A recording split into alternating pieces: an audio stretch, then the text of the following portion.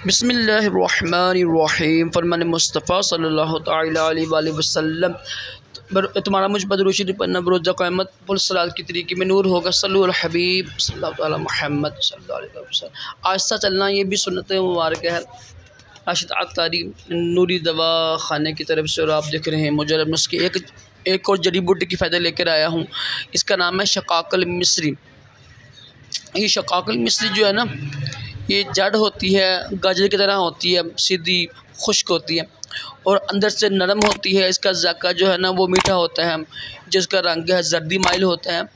इसका मजाज है, वो गर्म तर होता है, यानी दर्जा अवल में गर्म होगा, दर्जा दो में तर होगा। गर्म तर होता है, जिनके मजाज गर्म तर हों, वो नासमाल करें। इसका इसका जो मुज़र है, ये ना भूख कम कर देता है भूख कम कर देता तो इसलिए जो इसका मुसल है ना, वो शहद यानी शहद में मिक्स करके इसको इस्तेमाल कर सकते हैं।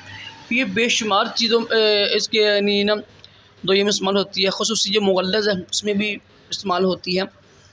और एक बहुत मशहूर हमारा यानी मुरबा होता है ना मजून होता है हमारे पाकिस्तान में, बहुत ज़्यादा बिकते हैं। लबूब कबीर। लबूब कबीर जो हर बंदा जानता है, यार ये इसके क्या फ़ायदे हैं? तो ये उसमें पड़ने वाली एक ख़ास जड़ी बूटी है। इसकी वजह यह है कि ये शकाकल मिस्री जो है ना, एक तो ये मुगलज़ मनी है, मनी को गाढ़ा भी करती है, और टाइमिंग में इजाफा भी करती है, और ये ना मनी भी है। मुद्दल मनी भी है, मनी के पैदाइश का भी इजाफा करती है, मनी मनी की जो जरसीम होती है, उसकी पैदा भी करती है, जरियान के लिए भी अच्छी है। जिनके जिसम कमज़ोर हो ना तो यानी उनको जिसम को बढ़ा, बढ़ाने के लिए बेहतरीन चीज़ है। और जो औरतें होती हैं ना जिनके दूध में कमी होती है। तो उनके लिए भी बेहतरीन चीज़ है। खाली कभी कोई जड़ी बूटी इस्तेमाल ना करें। हाँ अगर औरत खाली जड़ी बूटी इस्तेमाल करें ना उसका सफू बना के वो कर सकती है। तो ये औरतों के लिए भी अच्छी है। जरियान के लिए बेहतरीन चीज़ है।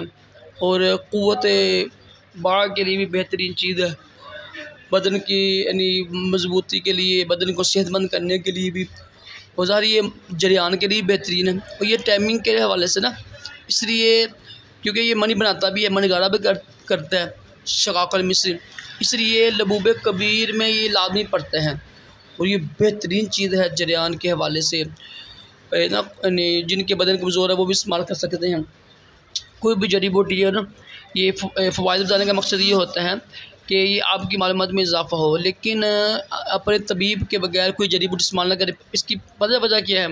पहली बात है कि खाली जड़ी बूटी इस्तेमाल करते ही नहीं हैं। दूसरा फिर इसकी पहचान भी होती है ना।